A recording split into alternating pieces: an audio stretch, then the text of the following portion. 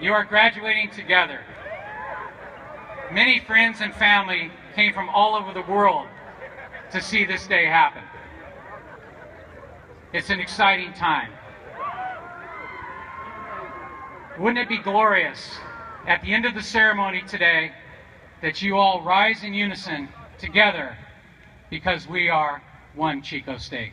Thank you very much.